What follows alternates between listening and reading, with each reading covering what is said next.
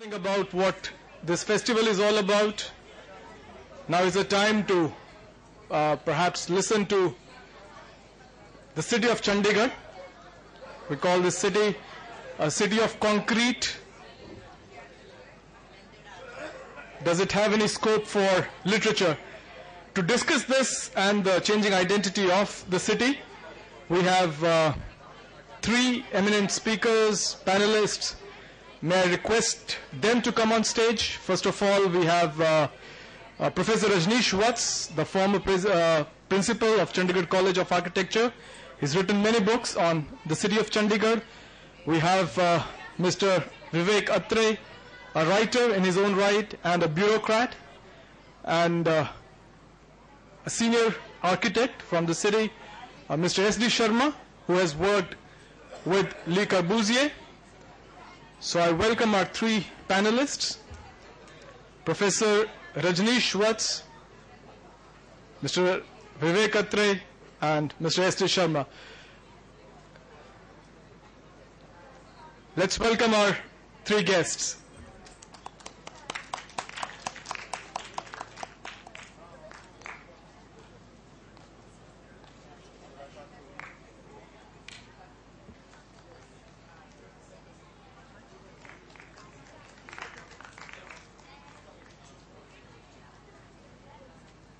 This session is titled Chandigarh, the Changing Identity. As Shada mentioned, from retired people's paradise, this is becoming uh, a vibrant young city. A city of concrete it used to be, but with Chandigarh Literature Festival, we hope it will also bloom to discuss this changing. I request our friends from media to click pictures, not from the stage, but maybe from the aisle itself, so that you know we don't hinder the view. Those who are still taking autographs, we need to wind this up quickly, or maybe we'll do it later. We have three guests waiting on the stage. As I said earlier, we did talk about what this literature festival is all about, but maybe we should now talk about the city and its character. And for that, I will leave the stage uh, uh, to our three eminent speakers. What we'll do is we'll have our speakers come here and, uh, and, and share their views, their ideas. And if we have time later after the three have spoken, we may want to pose some questions. We may want to make some comments. So first of all, I would invite uh, Mr. S.D. Sharma to please uh, come here and share your reminiscences, your ideas, and your views on Chandigarh, its changing character, and literature festival. well organizers and uh, my colleagues. It's a pleasure to be here. Uh, this session we are talking about Chandigarh. Chandigarh's changing scenario, changing identity. Uh, question is that we have to uh, think about many things when we talk about this subject. What is that change? How does this happen? I think, uh, and what are the issues? Which are the factors which have been affected by this change? Whether it's uh, socio-economic reasons, whether it is the population which is responsible for this, or what are the other things which have been affected, the infrastructure, the, the uh, relationship uh, of families into the persons, and so on. So uh, these are the factors which we really talk. But I must say the founder of this city, Le Corbusier, uh, everybody knows about it, that he was one man who has very meticulously planned this city. This city is on the world map. It is a great image. It's uh, a regularized planning. It's in order, a perfect order, and uh, many other, other uh, virtues so far this city is concerned. It, it carries a message of harmony, uh, social living together. There is no caste and creed. Uh, imagine that there are no hoardings even. Hoardings in the sense that this is uh, Patel Marg or this is uh, somebody's Marg. So there is nothing of this kind. There are no statues and there are nothing. So that it's a democratic feeling. People live just as a collective in harmony uh, and uh, they respect each other. And they, these are the sort of uh, basic things which have been laid on towards the planning of this city. Uh, now, what happened that what you see is Le Corbusier's enduring presence even till today. Uh, we take several decisions. In fact, it's a reckoning force. Even today, when we take decisions uh, towards development, towards uh, our heritage, so these are the questions which we still find uh, in edicts which he has written or the statute of man, uh, land. Uh, that gives us many, many questions even till today. After 60 years of Chandigarh, uh, you know he planned the city for 5 lakhs, but already it is more than 10 lakhs. This is the basic problem which has changed everything as if the city was not planned at all. Everything is uh, um, um, uh, subject to contest. Well, this is not there, that is not happening, and this is not there. Question is because when the population growth grows beyond what it was planned, the basic problems are going to happen. Now, the ideals which were set for the city can only be replaced by ideals, not by any any arbitrary decisions or uh, some such thing that it should be like this or like that. Now the question is that when we talk about all this, the main thing which are affected is the development, I mean, which should be the orientation for development, the heritage, what is the heritage of city, what is the legacy of the city which should be continued and which should be followed. Uh, now, there are basic things like we talk many times that what is the uh, character of the city, the soul of the city, the spirit of the city. Basically, these are all these words are of the same categories. They probably, uh, in some sense, carry the same meaning. But the spirit of the city is when Corbusier said that space, sun, space, and greenery.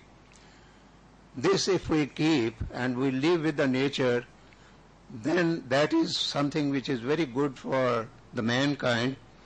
And he always kept the man at the summit. Everything was, and all decisions were taken while keeping in view his good. So he said that if we don't live with the nature, live with these factors like the sun, space, and greenery, everything, our organism will perish, and man is no exception. So I think it is a time that we understand what were the basic things uh, which were laid for the planning of the, what are the virtues, what are the good points which must be continued, and the development which is taking place because of the increase in population, increase in vehicles, and uh, there are parking problems, this and that, which have been cropped up due to the reasons which I have already explained. So what are the solutions? And the answer is that we must replace ideal by ideal, not by anything, not by wishy-washy things. I think I'll uh, leave something um, uh, to be detailed by my other colleagues, and uh, maybe if necessary we can take turns. Thank you.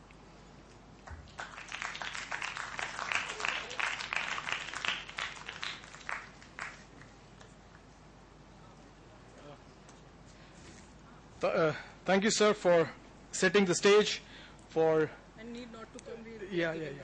So uh, on this note, we will carry on our discussion. I'll get you the microphones there, and we can uh, have a conversation there itself. Sorry for this. Yeah.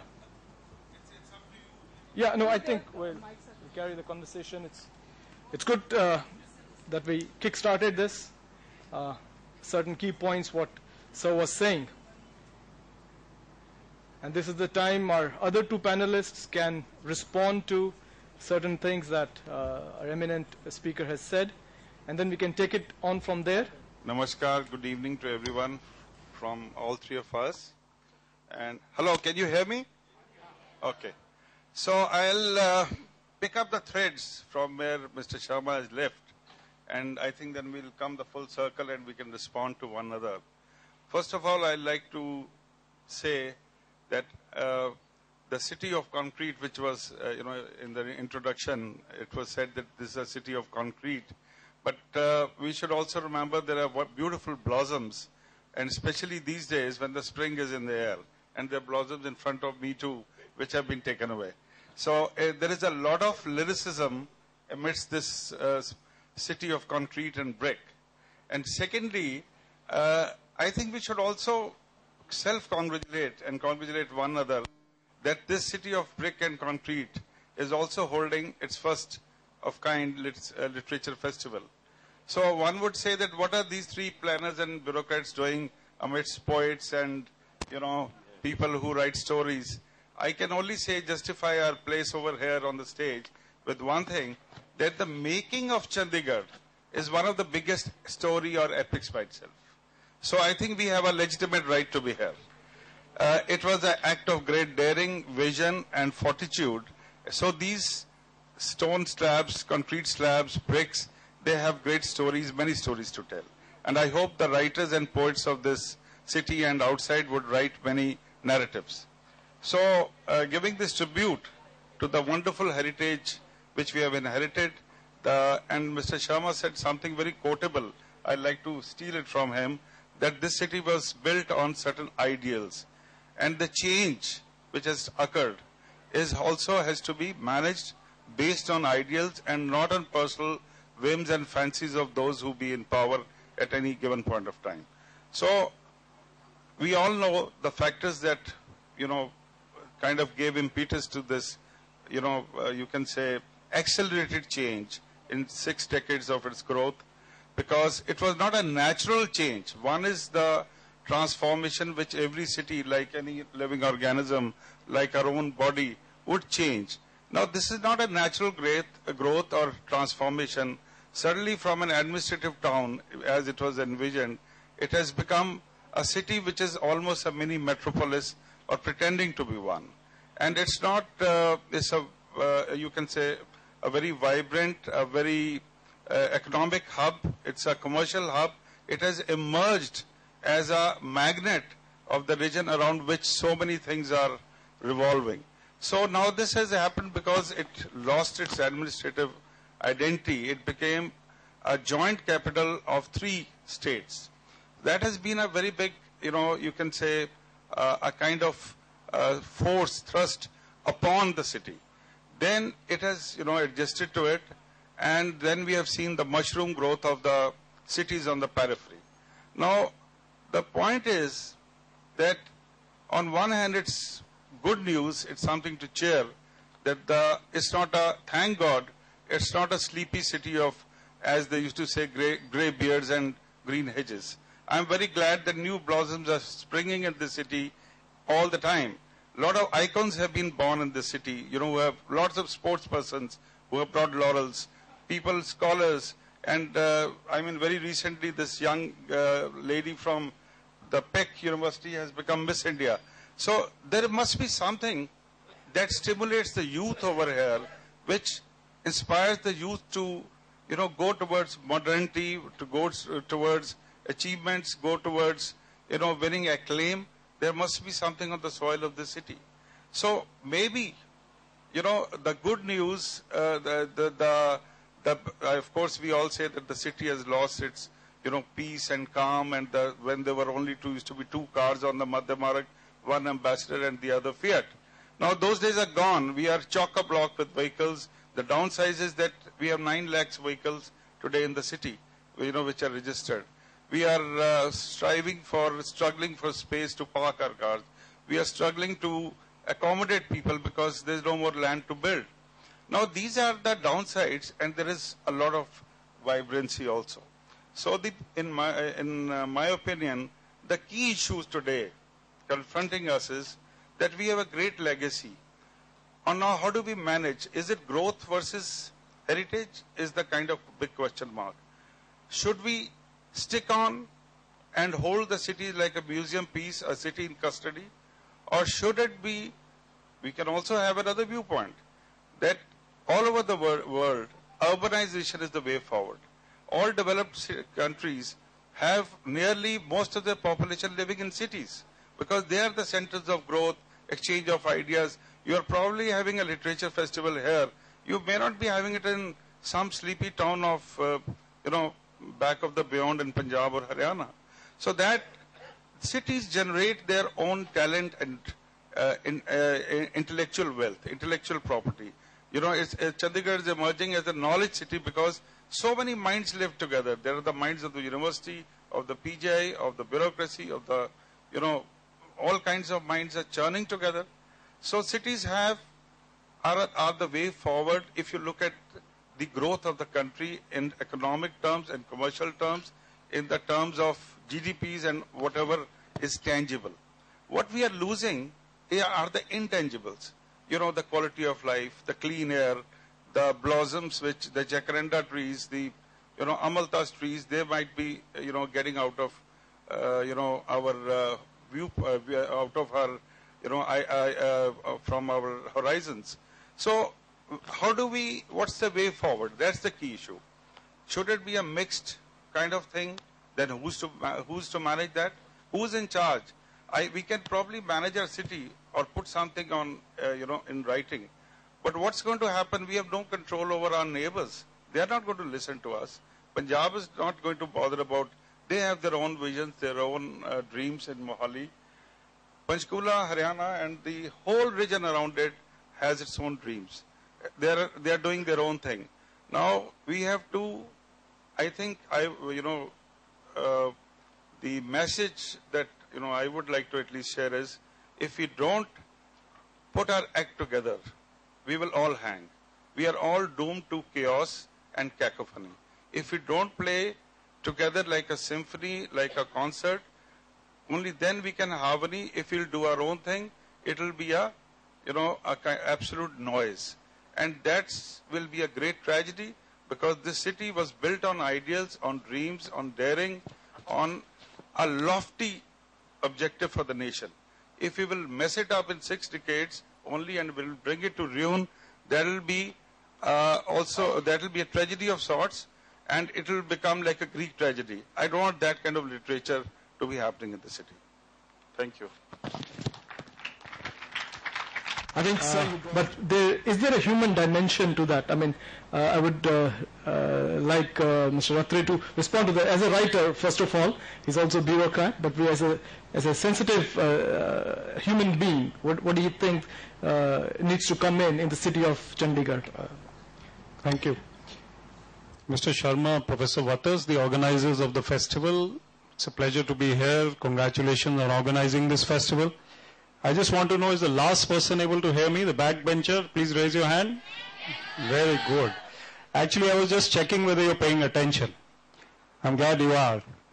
Nice to see some bright kids because whatever we're saying here is something which uh, most of us know. But some of us, especially the young people, they may not be aware and they are the people of tomorrow. So they need to be listening and I'm glad they're listening.